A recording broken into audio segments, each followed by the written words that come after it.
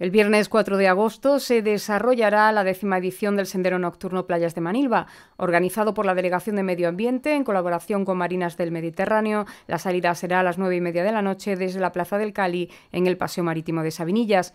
Toda aquella persona que quiera participar deberá inscribirse en el citado punto a partir de las 7 de la tarde. El recorrido será de 10 kilómetros y comprenderá desde Sabinillas a la playa del Negro para volver al punto de partida donde se entregará agua y fruta a todos los participantes.